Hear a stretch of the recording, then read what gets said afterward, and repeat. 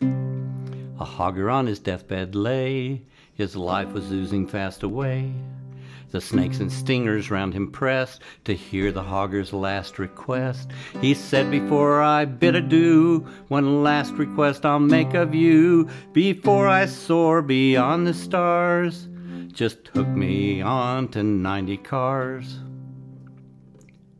A marble slab I do not crave, just mark the head of my lonely grave with a drawbar pointing to the skies, showing the spot where this hogger lies.